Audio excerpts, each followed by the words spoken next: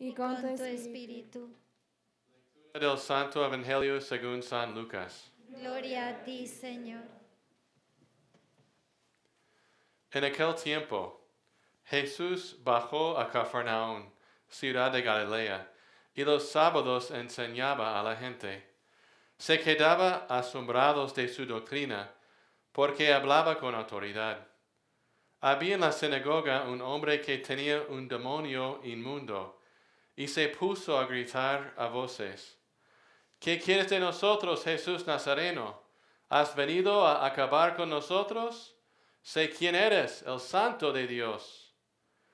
Jesús le intimó, cierra la boca y sal. El demonio tiró al hombre por tierra en medio de la gente, pero salió sin hacerle daño.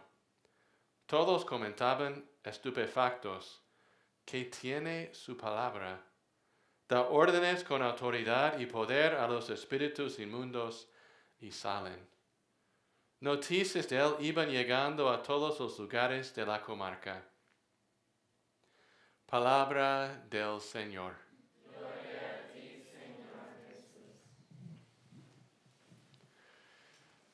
Muy buenas tardes a todos. Jesús es la palabra de Dios hecha carne entre nosotros, por el vientre inmaculado de la Santísima Virgen o poder del Espíritu Santo. Su presencia es la palabra de Dios.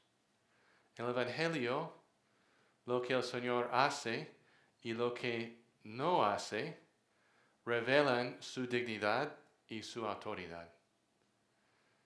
¿Qué era la enseñanza nueva aquí en la sinagoga?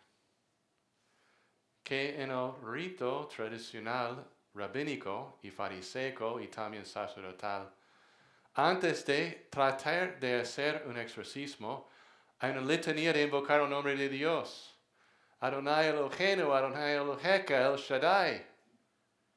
Dios fiel a la alianza.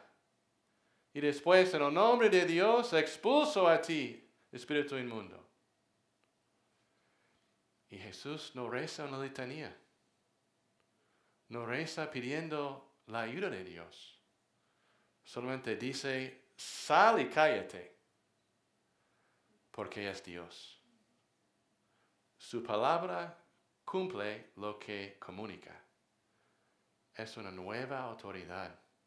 Él enseña con autoridad. ¿Qué es la nueva enseñanza? Jesucristo es la nueva enseñanza. La iglesia es la extensión en historia del cuerpo de Cristo. Somos el cuerpo místico de Cristo. Jesús sigue actuando a través de su cuerpo místico y sobre todo a través de los sacramentos. Nosotros seamos consagrados a Dios en los sacramentos, que es la protección de Cristo sobre todo mal, la gracia de la justificación, la santificación, la cooperación con la gracia.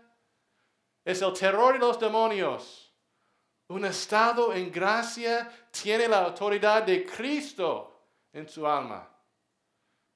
Caminando en estado de gracia santifica la tierra. Jesús consagrando la tierra a través de los bautizados. Los dones del Espíritu Santo, que es una elevación de nuestra natura hasta que Dios mismo actúa en nosotros, en un, en un, en un nivel más alto que las virtudes. Y también los sacramentales. Jesús instituyó los siete sacramentos. La iglesia en el nombre de Jesús instituyó los sacramentales. Los sacramentales participan en los autor- la autoridad de Cristo que actúa en los sacramentos. Escuchemos solamente a una oración, la bendición de agua bendita. Tal vez la oración más sencilla de un sacerdote. Escucha la autoridad de esta oración. Oh Dios, en tu bondad, escucha nuestras oraciones y derrama el poder de tu bendición en este agua. Que esta tu criatura se convierta en agente de la gracia divina al servicio de tus misterios para ahuyentar los malos espíritus y disipar las enfermedades a fin de que en to- todas, todo en las casas de los fieles quede libre de todo mal. A través de los sacramentales. Jesús actúa con la misma autoridad. Cállate y sal a través de agua bendita. Es la misma autoridad de Cristo. Qué importante es vivir en la gracia. La gracia es nuestra protección, es nuestra libertad. Por eso a la conclusión del Evangelio de San Marcos, Jesús dijo que nosotros íbamos a caminar sobre fuego y tener serpientes en nuestras manos sin picarnos.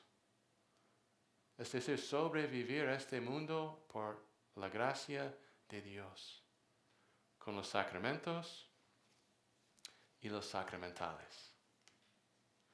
Terminamos, concluimos con estas palabras de nuestra Madre Fundadora. Para caminar en la luz necesitamos estar en la luz. Necesitamos estar en comunión con Jesucristo, que es la luz del mundo. Busquemos siempre vivir en la gracia y bajo la protección divina de Cristo, a través de los sacramentos y los sacramentales. Todo por el corazón de Jesús.